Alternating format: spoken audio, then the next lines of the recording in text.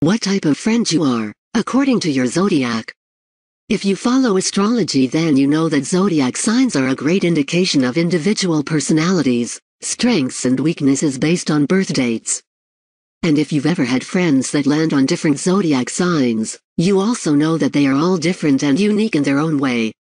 There are benefits to being friends with just about all zodiac signs, depending on the situation and type of friend they are to you. But have you ever wondered what role you play in your friend circle? Here is a complete guide to what type of friend you are, according to your zodiac sign. Aries, March 21st April 19th.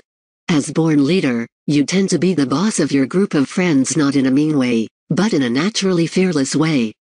Your friends look to you as the confident one that speaks her mind and inspires others to be brave as well. Taurus, April 20th May 20th. Taurus are known for their stubborn determination, and that's a good quality in a friend.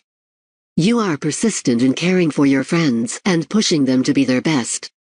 You're known for going the distance in the pursuit of your own goals no matter what, and you'd do the same for your friends. Presented by News of Voice.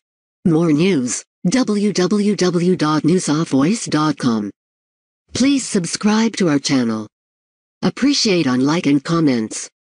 Thank you.